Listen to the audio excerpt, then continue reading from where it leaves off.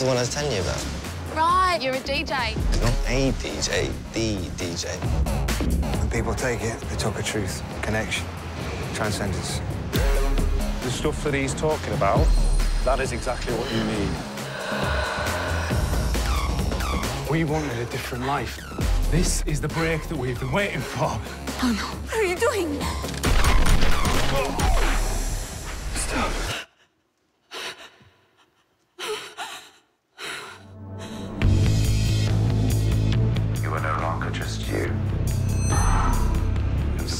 ourselves.